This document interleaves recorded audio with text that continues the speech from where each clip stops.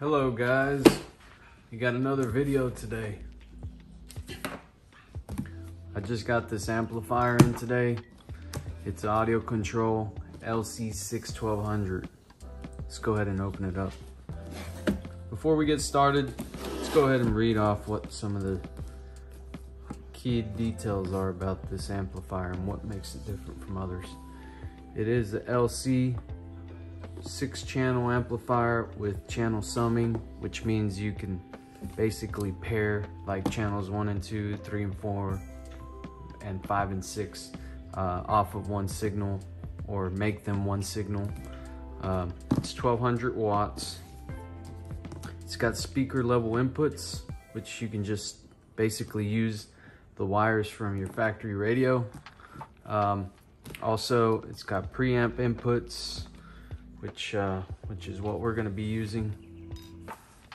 Uh, the channel summing, three-way Linkwitz Riley crossovers, which means that you can use this amplifier if you're trying to go active and use the uh, amplifier crossovers to power up and divide the frequencies uh, for a three-way. Like for example, you could have the tweeters on one and two, the mid-range on three and four, and the mid-bass on five and six.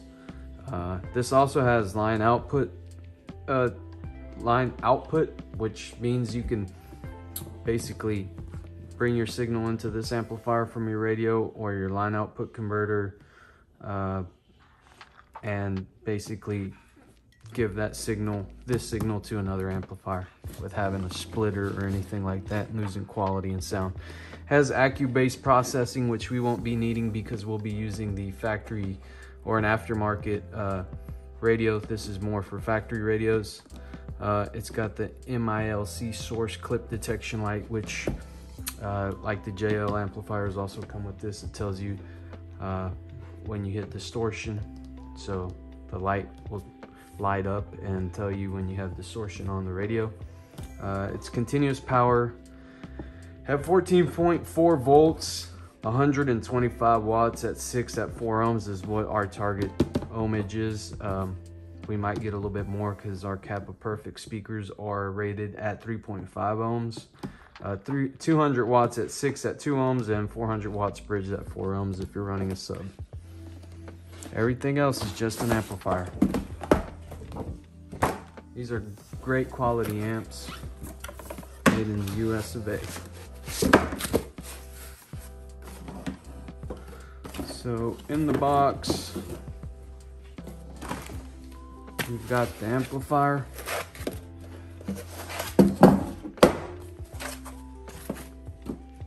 feels very well made. It's got some good weight to it, but it's also not very big. So if you need to put this under a seat somewhere, it would definitely fit. Those are our terminals. It already comes with fuses, so you don't have to worry about fusing it. Although it's still recommended to fuse at the battery, obviously, but I've already done that. Uh, so you got your three fuses, you got your 12 volt, your remote turn on, your ground. Uh, we're gonna have one and two, three and four, and then sub, but we're gonna make sub the rear and give it a high, uh, a full range signal because it's going to be run passive for the rear doors. Uh, we won't use the line output. Uh, and then we'll just sum one, two, three, and four together. So let me go ahead and get this open and we'll see what it looks like. Okay, so now we got the cover off. It's just a couple Allen keys. As you can see, this is where, if you're using factory radio, this is where you put tie in. These are your output to your speakers. They're labeled and you got positive, negative, positive, negative one and two, positive, negative, negative two, positive, negative three, four, five, and six. So these will be the ones you tie uh, to the leads going out to your speakers. We got this front high level. If you're not using, again, factory tweeters or factory tweeter wiring, you can turn that off. Uh, we got GTO Sense, which is great turn on technology. We don't need that. uh, we're just going to turn that off because we're going to be using the remote on. You have the ability to use the ACR and which is the ACR one is which is a bass knob or a volume knob in this case since we're going to be using it for speakers or Accubass we're just going to be disabling that because we'll be using the head unit. Here's our crossover settings. So it goes from 30 hertz, 750, and it feels like there's little clicks in here. So yeah, there's little clicks in here. So it's not like a, potent, a regular potentiometer where it's just smooth motion. It does have clicks, so it does get you, I guess, in that that exact range that's posted. Uh, the front gives you a high pass filter, but you have selection between 330 and 300 hertz, or you can go 500 to 5 kilohertz. So in this case, we're going to be using a passive crossover for 1 and 2, so we're going to set it to 30 at 300 hertz. So we're going to turn the high pass crossover all the way down. Uh, we're going to want it in mono because we're going to be using the both sides. And we're going to turn down the gain because we haven't messed with the gain. Threshold and level for the Accubass we'll also turn down because we're not going to be using the Accubass if you are you would enable this setting over here. So we're going to be using channels 1 and 2 and 3 and 4 for together. So we're going to sum those Accubass is going to be disabled on that one as well. On this one, uh, our target was 400 hertz. So this doesn't give you 400 hertz. It takes it down to 300 and 500 on the low pass. So what we're gonna have to do is actually um, we're going to have to set it on band pass okay? And then we're going to set it at 500 hertz or 300 hertz on the high pass filter. And then we'll set it at 500 hertz on the low pass filter. So it's going to go lower than 400 but I'm hoping it blends well uh, because apparently the kappas are crossed over at 400 hertz for the mid-range and the mid-bass if you have a three-way setup. Again, we'll turn down the gain and we'll turn down this gain as well. So three and four, five and six will be separate because that'll be our rear. Again, we're gonna disable the Accubass and ACR. And our fifth channel, we will also be, five and six will be giving it a full range signal, so we're gonna put it on high pass. And stereo. So that's basically how you're gonna set it up if you have a Kappa three-way set or if you're doing the same thing I am, running passive on one and two, active on three and four, and passive again on five and six. The reason I'm using a six channel amplifier is because uh, this amplifier fits and I've also seen other people stack them. So I think they have a stacking kit that you can buy for these amplifiers, if I'm not mistaken. Uh, so if I decide to do that, I could do that. But I think I'll eventually get a DSP, which will be the DM608, and that'll let us incorporate a DSP into this amplifier. Um, the main reason I got this amplifier is because of the, the, the, power it puts out. It puts 125 watts at 4 ohms, which is really good. And it's a reputable brand, so you know you're going to get the 125 watts from this amplifier. Right now, I'm running an RD400 Flash 4. Uh, it's made by JL Audio. It's a great amp. It doesn't get hot or anything like that. Uh, you can crank it and play it loud all day, and it doesn't care. As long as it's it gets the voltage it wants. It, it plays great.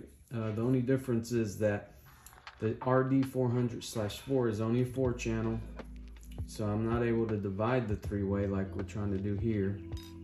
And it's only 75 watts at four ohms. So we're basically gonna be getting 550 extra watts per channel.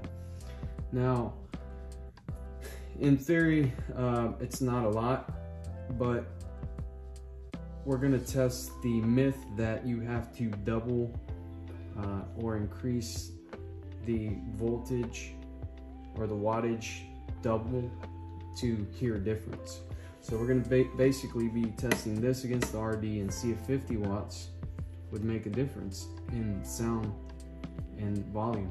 Uh, most people say you gotta double it. So technically we would need a 150 watt amplifier per channel if we wanted to double it, 75 times two. But we're gonna test it out. We're gonna see if 50 watts really makes a difference. And then after we test that, we're gonna find out if splitting the three-way uh, makes a difference as well. So basically, first we're gonna start off by just running the three-way on the passive crossover and giving it 125 watts. And then we'll test it and see if there's a difference. After that, we're gonna test uh, after separating the mid bass from the passive crossover. So basically we're gonna keep the tweeter and the mid range on channels one and two, and then we'll put the mid bass on three and four. Uh, basically freeing up more power for the uh, each channel. And then we'll see if it, it gets even louder or if it sounds better. Uh, but this is uh, these are great amplifiers. If you're interested in getting one, I highly recommend it. Yes, they're a little pricey, but uh, it's well worth the money.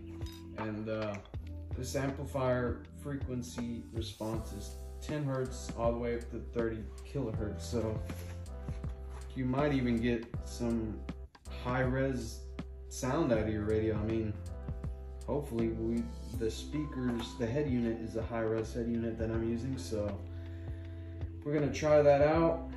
It's uh, maximum input voltage, pre-out and speaker level is 8 volts RMS to 40 volts RMS. So, and the total harmonic distortion is uh, 0.01%. So that's pretty good. Signal to no noise ratio is 100 and 2 dBA. So again, this is a great amplifier. Um, if you're interested, we're going to be running these tests, so stay tuned to the channel. And uh, if you don't have a DSP and you don't want to buy the DSP amplifier, you could take this and run all your three-way components off of this and just use the crossovers that they provide. Uh, but again, it's going to be kind of hard, so you're you got to make sure that your speakers are able to play down to uh, you know 300 hertz if your mid-range does that. Um, so otherwise, you're just going to have void in the music. But uh, I think we'll be okay. Uh, like and subscribe. We're going to be posting more content, but I wanted to put this video out there so we could show you what the LC 6.1200 look like. Um, we'll show it to y'all after it's been installed and stuff. This is a really cool amplifier. Actually, uh, you can see back there. You can probably open it, but uh, basically when you uh, when you power this up, you'll get like this blue LED backlight. That's pretty cool as well. So I'm gonna go ahead and open it for y'all and let y'all see what the inside looks like.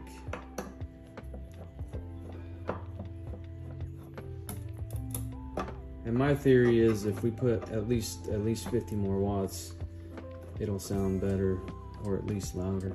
Um, not saying that the RD is not loud enough. It's it's good. I mean, it's it's it sounds good. It's just uh, the speakers I feel need more power. Uh, some need uh, less power depending on sensitivity and stuff like that. But uh, I think we can get a little bit more out of these ampli out of these speakers if we just. Uh... Okay, it's got it's got screws everywhere. So it's got screws on the front as well. So put these down to get it open. It's quite a mess trying to get it open, so let's see if this one more screw will let us take it out. So, second audio control amplifier that I'm using the LC 800.4.1. I'm sorry for the sub amp. So yeah, guys, that it's not letting us up. Oh, there's a bunch of screws. Wow. I just wish they would have just used all Allen keys all over and not have to worry about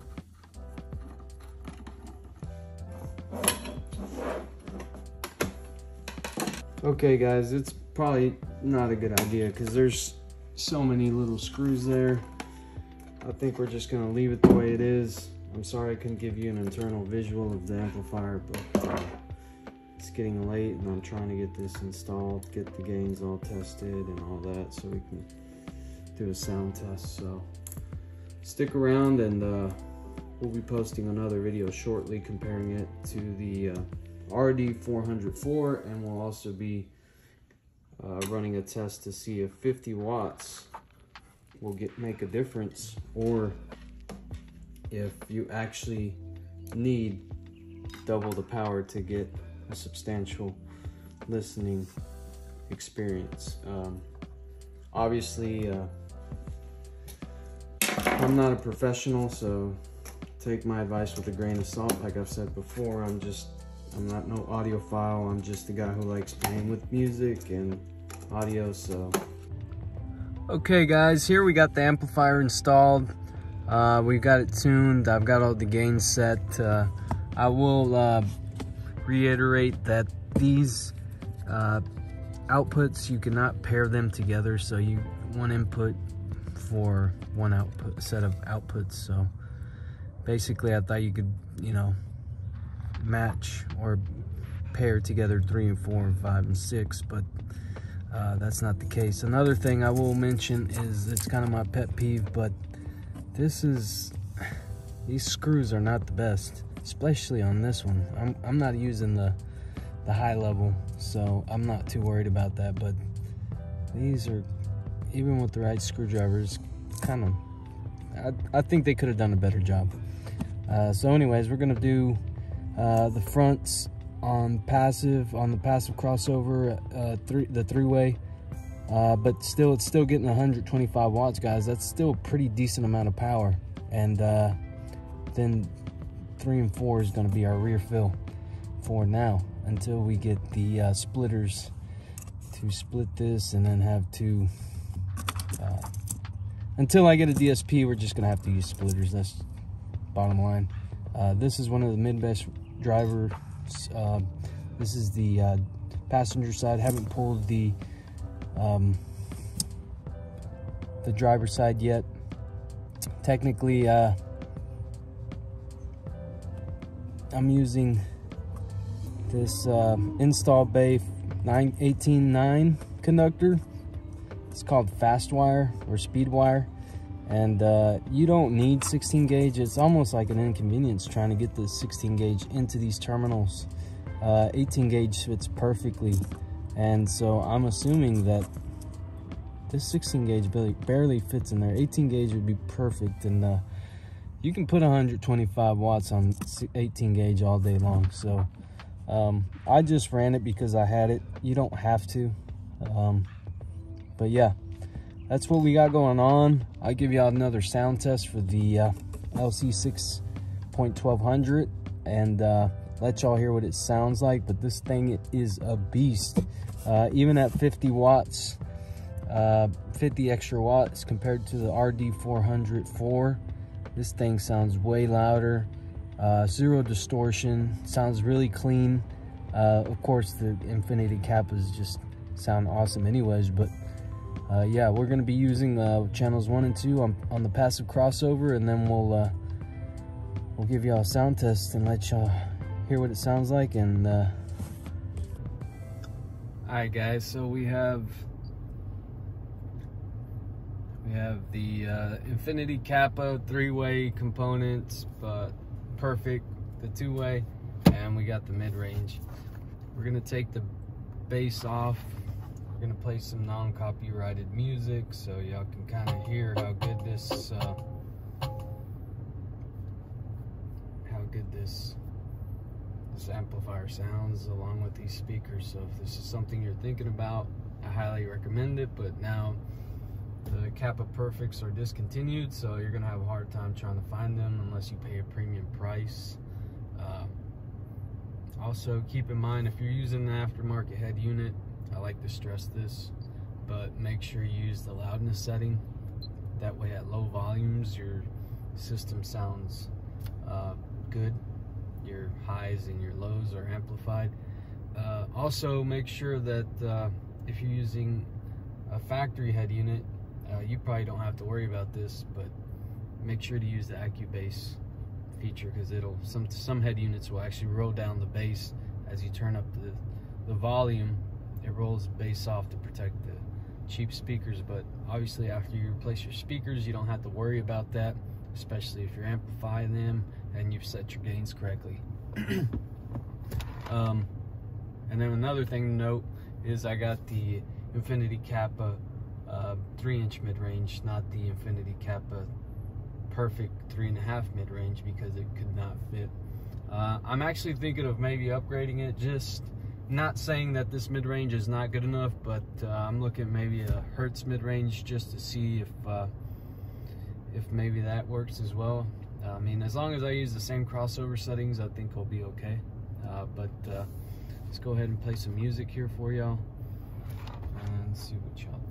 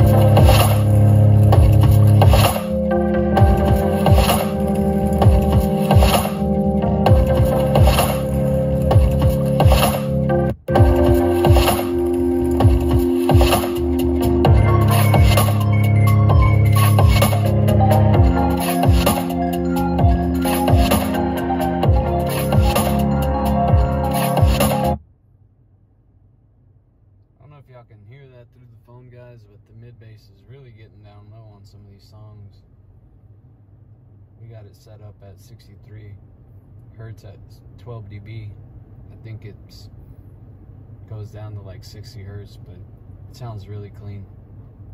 And another thing is, if you're gonna, if you plan on getting the Kappa three-way component set, I highly recommend getting um, some subs or one sub or even just like a small eight to kind of amplify uh, that that bass and mid bass and it kind of brings your staging up to the dash uh, if you get the time alignment right um, I'm using the time alignment on the Pioneer head unit it uh, makes it sound like the bass is coming from up here and not from behind you so that's that's another suggestion if you're running a factory head unit just get you know uh, but you know, make sure to get a, a, quality sub uh, in a sealed box is what I recommend uh, if you want like a clean SQ kind of sound. So let's just play something else.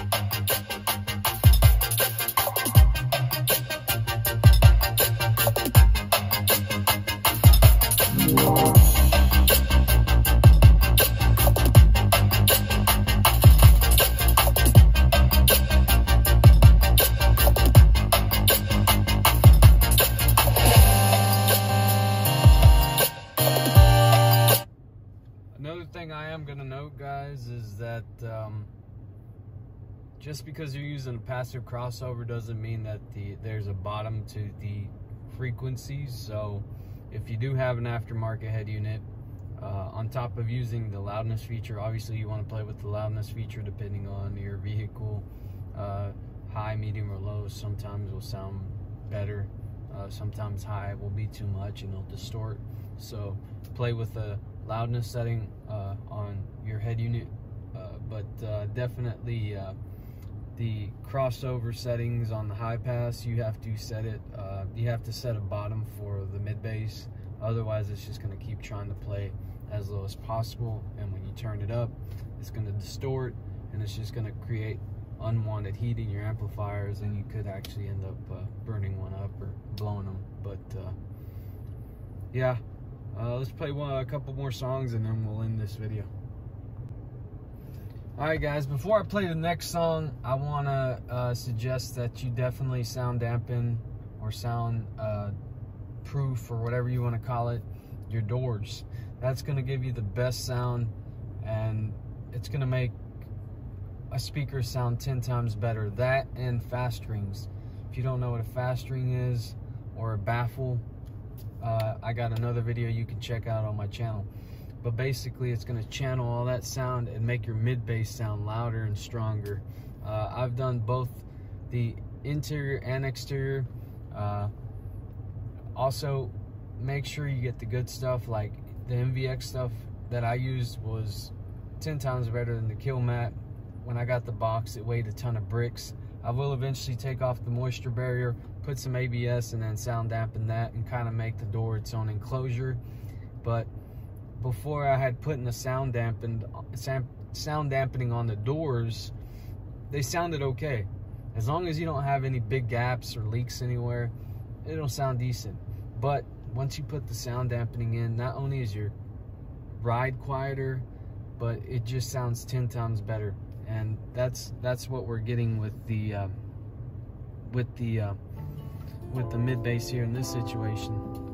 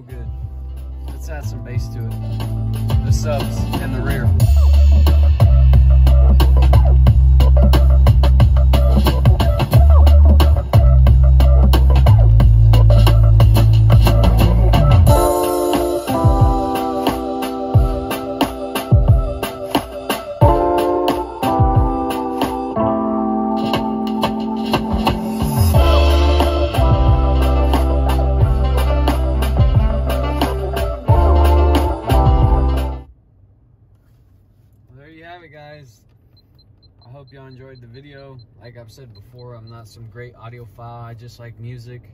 But uh, if you have any questions, post them down below. Um, likes, comment, and subscribe, and all that good stuff. But uh, we'll try to make more SQ type videos. Uh, if you got any questions on the Pioneer NEX units, uh, I'll gladly help you out with there uh, as well. The, like I said, loudness, and your high pass crossover settings are what you want to be playing with. Also, there's another feature in here that is called Soundmaster Reviver. That's basically going to take, um, if you play lossless files or Dolby Atmos, you kind of want to set it at mode 2, which I think is a 256 kilobits and up. So if you're playing high quality audio, that's where you want it. If you were playing uh, audio that's less than that, then you would choose mode one, or you can turn it off. Uh, but it definitely makes a, a difference. Actually, I can probably play a little bit of it before we leave here.